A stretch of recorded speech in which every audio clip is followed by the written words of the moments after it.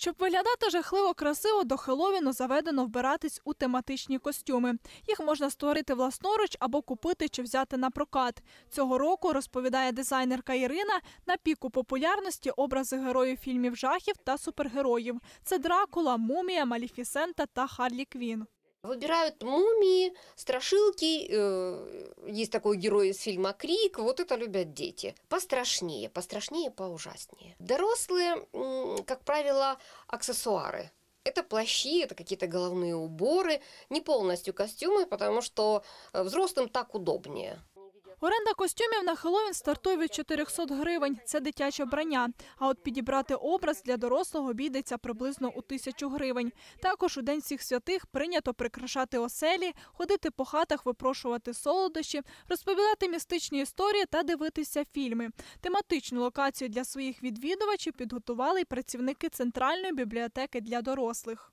У нас э, будут э, конкурсы, э, просмотр фильма, а также презентация книг. Те, кто хотят пощекотать свои нервы в хэллоуинскую ночь, могут познакомиться с литературой. Сейчас этот праздник превратился больше в такие костюмированные представления. Второй по коммерческим праздникам в Америке после Рождества. В Україні це свято лише набирає популярності. Різні думки щодо Хеллоуіну й у запоріжців.